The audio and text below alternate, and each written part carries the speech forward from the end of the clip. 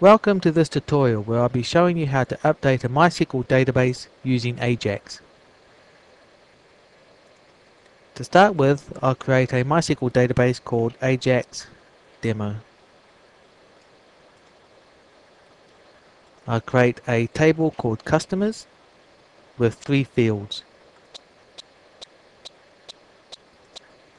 An ID field, a first name field, and a last name field.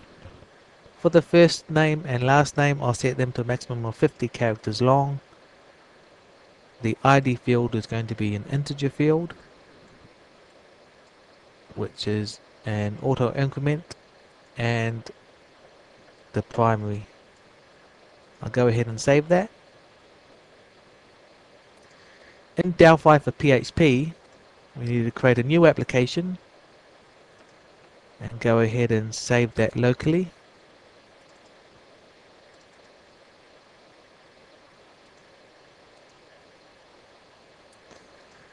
With our form, we need to set it to use Ajax. So set use Ajax to true in the object inspector. We need to put two labels on the form two edit boxes and a button. We'll change the caption of these labels to first name and last name. And we'll go ahead and change the name of these two edit boxes to ed first name and ed last name. Now we need to register our MySQL database. We go into Data Explorer, right click on MySQL and register database. I'll give it a name, Ajax Demo and fill in our connection details for our database.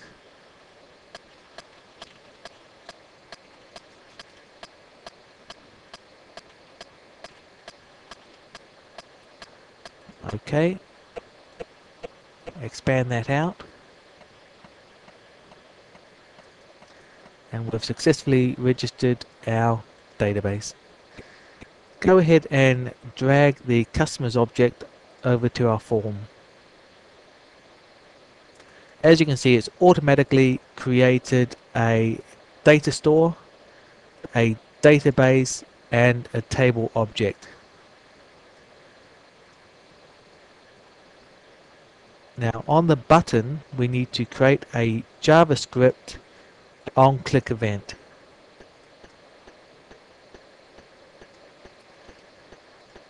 And we need to populate that with the following code. We also need to create a function which will actually insert the data into our database. Okay, so let's um, look at that in detail for our uh, button one JavaScript click event. We're going we've got some JavaScript here that takes the edit first name and edit last name edit boxes from our form and puts them into JavaScript variables called last name and first name. It then checks to see if they're empty or not if they're not empty it goes and it populates a an array called params with the value of the first name and the value of the last name. The next thing it does is run some PHP code and it runs a function called Ajax call.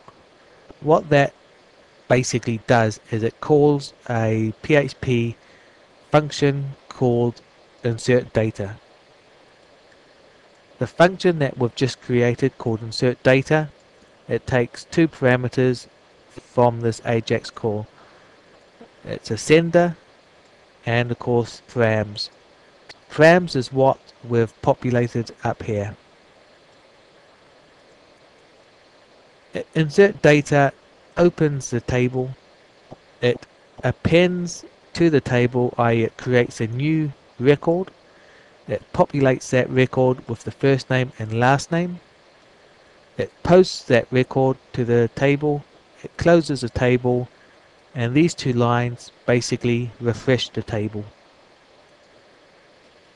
So we can go ahead and run that and um, see what happens.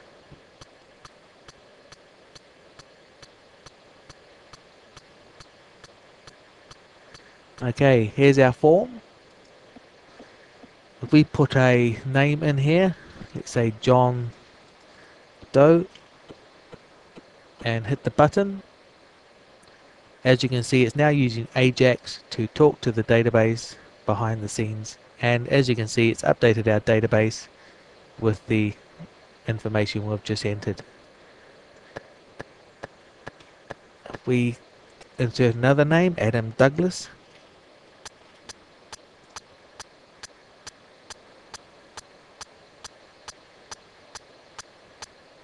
and again it's inserted it into our database.